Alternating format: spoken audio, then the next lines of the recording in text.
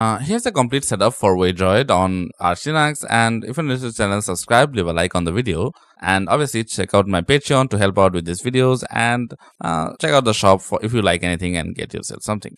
And in this one, I don't have Yay, but I am using paru for this. The installation process is similar, so you can get Yay or paru, either way it's fine but uh, we're doing paru and then Waydroid and Waydroid image. Now the reason I'm doing Waydroid image like from the AUR repository is that it gets better download speed. I don't know why that the case, but um, and also my W key doesn't seem to want to work. But anyway, uh, Waydroid dash image. So you can also get the GApps version. I didn't try what Halium is, but um, I like to get the base one as we will be installing GApps later down the road.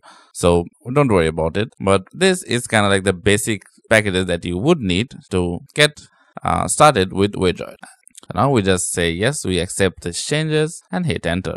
And if you get uh, errors like this, you just have to do dash sy. And I would recommend you always use sy as it refreshes the repository, then tries to install them. So yeah, there you go. So it is installing it. So now it should install everything. So yeah, there you go. It is installing now. Let's give it a moment. It will take a bit to get done because it is a big file. So uh, I'll see you after this is done. Now there you go, it is done installing. So now we have to kind of configure Waydroid. So now we just type in Waydroid dash init and you need sudo for this. Uh, yeah, it does record for the initial initialization, initialization you need sudo Waydroid init and yeah, there you go. Now it should uh, initialize and then we, you just have to do Waydroid session start.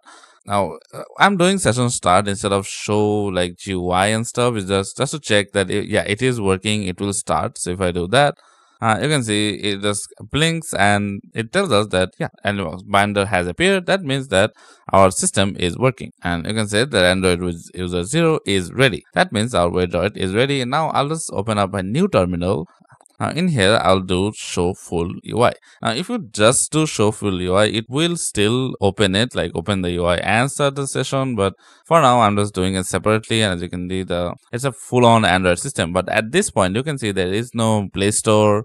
And uh, if you even if you had Play Store, uh, it will not work. And uh, just remember when you're shutting it down, like just press here and then do power off uh, as if you try to close it or I would say terminate this, it doesn't want to die. So yeah, uh, it doesn't want to like do something like that. Anyway, uh, we can do sudo systemctl to kind of enable the container. So it does run at system boot. Uh, enable if I do Waydroid, there you go. It is Waydroid container and that's what we need. So what this will do is just create a symlink. So whenever our system boots up, uh, it will enable like turn on Waydroid. So we don't have to type in Waydroid session start every time we want to use it. Now uh, in any browser, so uh, you just search for Waydroid script. So what this is, is it's a Python script that will kind of help us install GApps, libhoudini, and like basically uh, everything you will need uh, to kind of get started or get your widget up and running. So if I just copy this command and just paste it in here, so why are, do we need this? Well, there is a library called libhoudini, which will allow you to have basically bypass the issue that said this app is not supported in your system. So as you can see, now we have this that is asking for Android version. If you have installed it from Yay, then this will be Android 13 and we'll select install and then we'll go with GApp, just press space to select uh, libndk and libhoudini.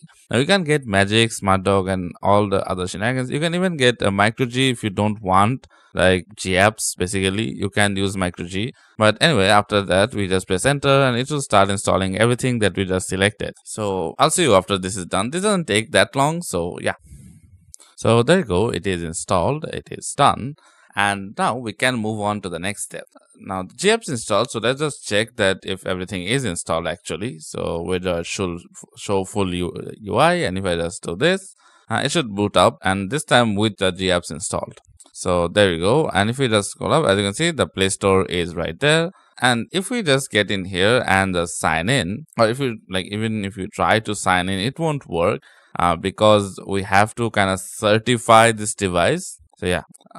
So now we can do Waydroid. Yeah, you do dash dash help, you can see what everything like what is everything. So we can actually install apps with this command, but so I just so I just downloaded an APK. So in case you have your own APKs or you have your separate I say APKs, uh, I have it in my downloads directory. So yeah, let me just get that. If I do ls, there you go. Now as you can see, I have Asphalt Nitro. It's not a very demanding thing, but um, here's how to install it. You can do app install and then the name of the app basically, and then hit enter. Now this will usually install it, but as you can see, it says Waydroid session is stopped. So you have to actually have the Waydroid session turned on, then kind of work on that. But I would say like with this just session start, it doesn't really work that well. Because uh, yeah it feels like it just installed it but it actually hasn't like it takes a bit of time.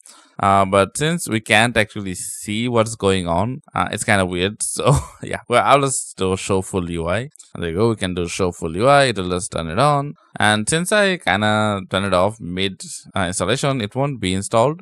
So we have to actually just it again. So yeah. So yeah. if you in case you're wondering you can do alt tab to switch between tabs. So yeah. Now if you just wait for it as you can see it does say that um it's like not safe and because it's a third party application so it may not be safe.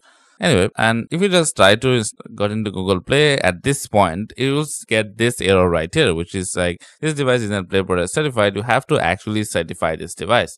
And to do this uh, let me just uh, alt tab out of this and uh, we actually need a browser so yeah let me just get into a browser. Now in here, uh, I would say just go to the Waydroid documentation as it is really like nicely specified on how to do this.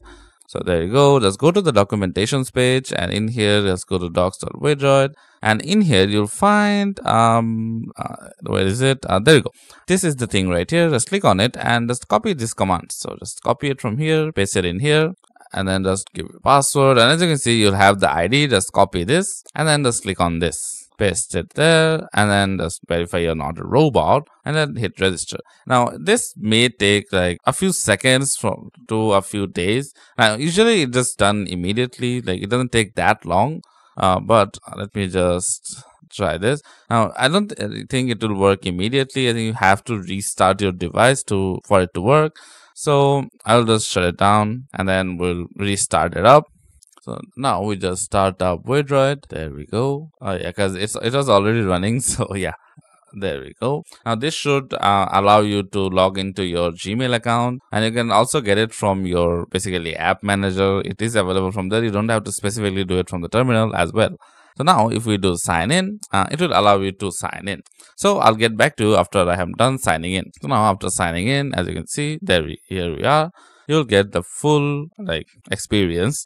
Now uh, you can literally do anti crash. Now the thing that I have found with this is uh, if it's something simple, like if it's a simple game, it really doesn't matter that much uh, it does work or if you even if you just want to have like something that can use your mobile apps maybe you don't want to use your phone maybe you don't even have a phone you want to use your system just as an emulation of, of sorts you can use it. Uh, but uh, i will also install asphalt um, legends as i have found a bit of an issue in this. I don't know what other games this may occur in but um, you guys can let me know what like other games have this issue like if it's just asphalt or if it's other games as well well. So yeah. If i just get into candy crush it's like very simple very easy game.